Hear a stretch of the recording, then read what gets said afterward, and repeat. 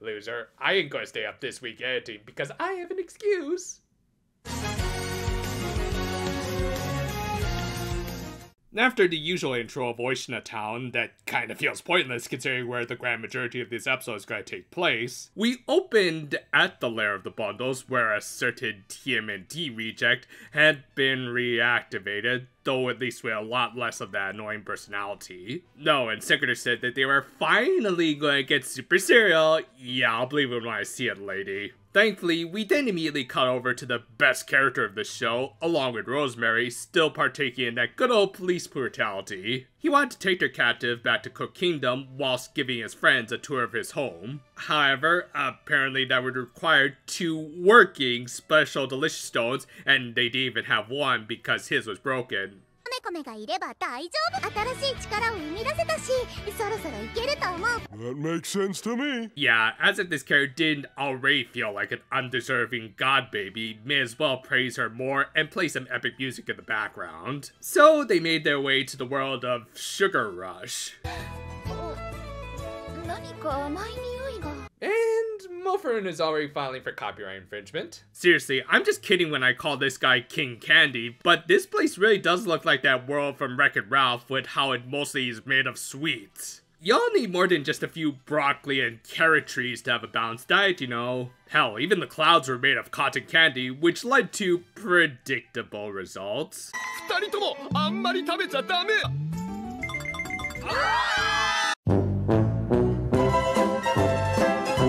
Yeah, is it just hilarious how this character has no personality other than being dangerously gluttonous? Anyway, I guess this kingdom was dealing with its own pandemic as their masked up guards took in Narcissus. 食べられないものがあるならちゃんと言いなさい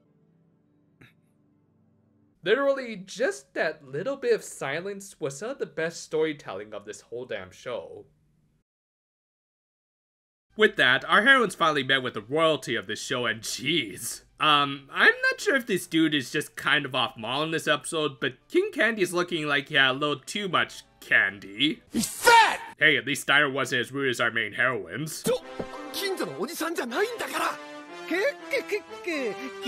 yeah, don't worry. We'll just behead you two, and then we'll be all square. They also met Doctor Strange and his vassal Shervil, yes, another freaking herb, who turned out to be a total fangirl of the Precure. And yes, fangirl, as has been confirmed by the character designer Kyoko Yufu. Believe me, I'm just as disappointed as you that we didn't get another fanboy, but at least we got more confirmation that Crunchyroll sucks at their job. And through her, we actually managed to get some good world building about how Cook Kingdom's military and ranking system operated. Likewise, we got some more intrigue from her superiors who discussed how the bundle stones were actually well made forgeries of the kingdom stones to the point that they pretty much had all the same powers and abilities. This led to Doctor Strange contemplating who the forger might be and not all acting sus. Speaking of which, Secretary managed to sneak into the kingdom because why should we assume this place has good security with this guy in charge? Also, ew, don't share your mask, that's how you spread the virus. Meanwhile, Shifu continued the tours by showing some of the very impossible produce they were creating,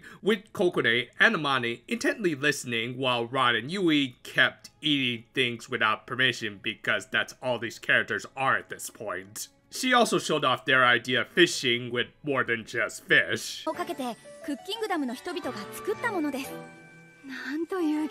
So essentially, y'all recreated the technology from Cloudy with a Chance of Meatballs. Well, there's worse Sony animes you could steal from. To this show's credit, I do appreciate that they acknowledge that a lot of this quote unquote tech can only work in their magical fantasy world. Granted, it still doesn't explain how any of it works or acknowledges how impractical a lot of it is, but whatever, it's good world building for this particular world. And after learning about the world, they tried to learn more about their guide and her own trials and tribulations. Because, yeah, as it turned out, this soldier was likely there as a favor to someone, as her skill set was very limited.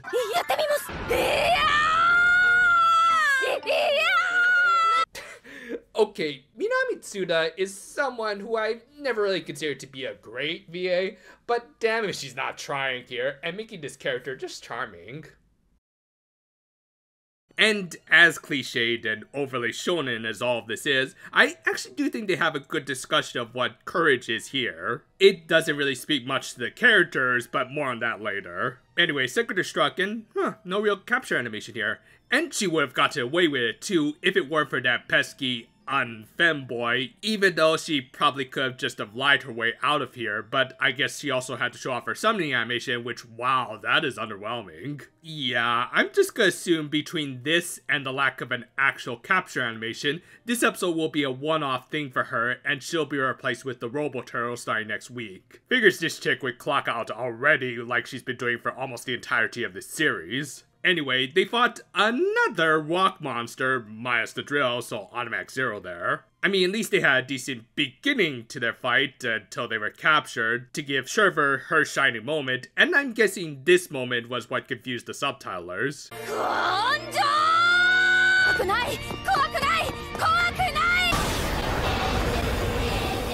I mean, come on, this franchise clearly wishes it was Madoka at this point. With that, she gave the cures an opening to finish it off, and they reported in to the king. King Candy, I think more than anything, you should be worried about your diabetes. With that, the episode ended with Yui trying to act like a main character. And end more interestingly with Rosemary and Doctor Strange discussing the possibility that Takumi's dad might have been framed for his crimes. Kind of wish they had discussed this more throughout the episode, but at least they're establishing something. Also, on their way home through the portal, they saw clips of the previous three seasons of the franchise. Gee, I wonder if this is meant to tie into anything, like a movie they're desperately trying to sell. I mean, they certainly wouldn't try to force it into this episode with no rhyme or reason, right? This honestly was one of the better episodes of the series, if only because we finally got some much needed world building almost 30 episodes in. I mean, yeah, don't look a gift horse in the mouth and all that. And to be fair, there was some creative stuff here, and Sherva was the delightful character. That said, it also did kind of highlight how I find almost everything in the show, aside from our main heroines, to be more interesting.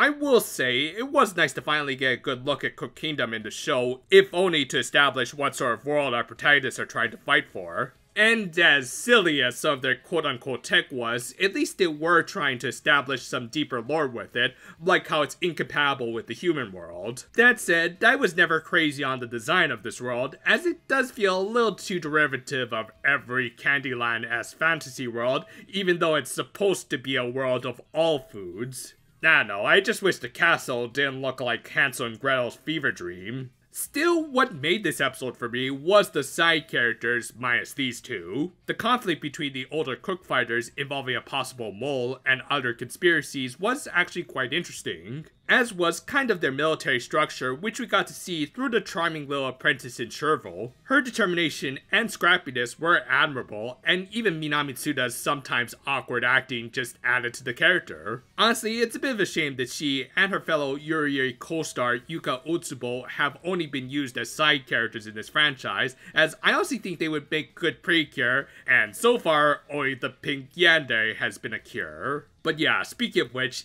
easily the least engaging part of this episode was unfortunately our main heroines. I mean, I get that they would have to take a bit of a backseat to this sort of stuff, but also ended up highlighting how little some of these characters have been developed. Not helped by the fact that Ran and Yui were turned into mostly one-note jokes in this one. The latter especially with her grammar quotes having all but devolved into hollow platitudes. Hell, even the big courage speech from Amane doesn't exactly highlight what little character she has, on top of being a bit derivative. Now, if this episode had come out much earlier in the season, as it really should have to establish what they were fighting for, I wouldn't complain about their lack of development. However, now that the episodes are entering into the 30s, not only does a lot of this ring hollow, but it makes the flashbacks to previous seasons feel unearned. In my opinion, stuff like this should be reserved for either anniversary series or shows that have truly earned it with heroines who lived up to their moniker. And so far with this team, I really can't say that. Thus overall, while the world building here was much appreciated,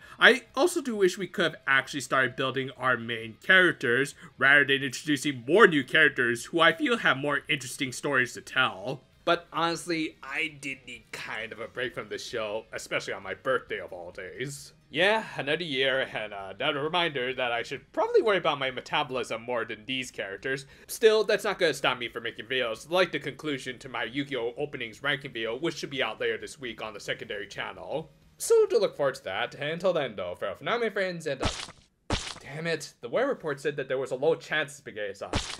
Gotta get my laundry back in.